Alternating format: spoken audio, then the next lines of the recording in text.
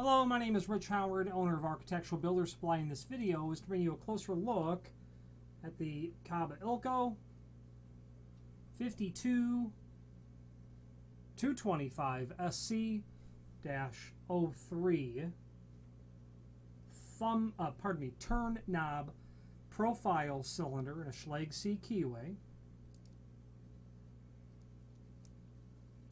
This is what's called a profile cylinder. You're going to see profile cylinders installed in residential sliding doors, patio doors, things of that nature.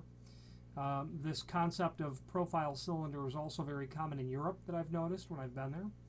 This is a, the 52-225 is representative of the profile cylinder, okay? The SC means that it is a Schlage C keyway and a look-alike sort of key. You'll get two keys with this.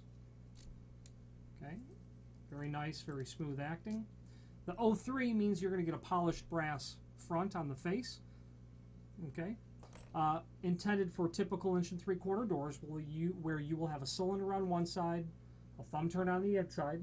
Okay, operating either the thumb turn or the key cylinder rotates the lobed cam which locks on drives and you know retracts and extends the lock. It's going to include a long flathead machine bolt, which I'm going to guess to be 1032, but it's only a guess, which will go through the, you'll see a, a countersink in the edge of the door. Once you get that slid in, and I've seen them installed both this way and this way, but when you get it slid in, you'll run that bolt from the outside right into that tap section in the top of the cylinder. That's what holds it from sliding in and out. Okay, and at that point you're done. You can see that there are, well, you may not be able to see it very well, but there are set screws drilled and tapped into the top of the cylinder, which is where access is provided to rekey these.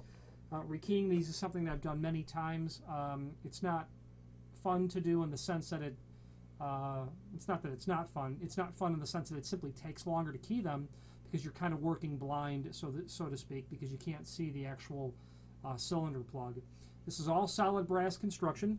Being from Kaba Ilco, that's pretty much what you're going to get. Very good quality, very smooth operation, extremely smooth, very reliable, very long lasting.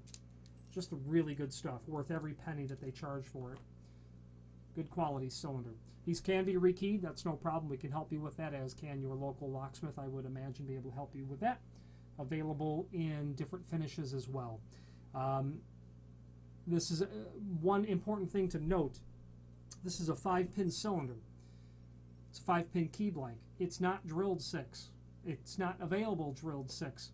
And if if you know what I mean, then you know what I mean. If you don't, that means that you cannot work or run six pin length key keys into these cylinders, meaning if you had commercial locks installed on the rest of the home or the office, whatever it might be, and they take a six pin key, not going to be compatible with this lock because it won't physically operate or go into the lock.